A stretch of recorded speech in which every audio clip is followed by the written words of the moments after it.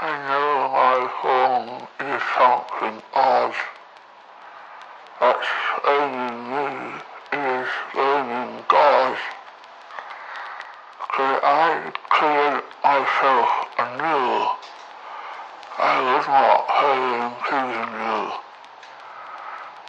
If I could get some cold to follow, or glassy ocean with a sign, I be measured by the soul. The mind's the standard to.